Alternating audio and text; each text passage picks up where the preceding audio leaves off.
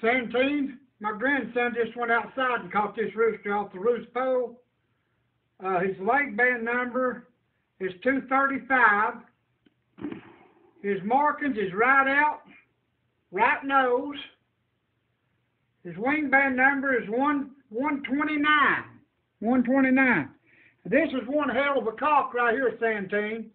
There's a lot of rooster right there, man. He's a good, strong, filling cock, got a good body on him.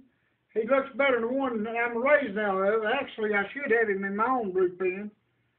But anyway, right here he is. He's a nice, good, gentle cock, and that's unusual for a lot of these right out, right nose cocks. They're a little mouthy, you know. But hopefully this year will make you a, make you a good brood cock, and I'll maybe get a trio back off from you. So anyway, right here you go. I just thought you might want to get a good close-up look here. But he's a nice one, buddy. Got a nice, good, broad wing, strong wing. Nice cock. Anybody ought to be proud of this rooster.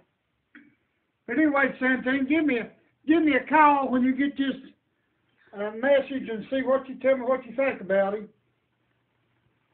We'll talk to you later.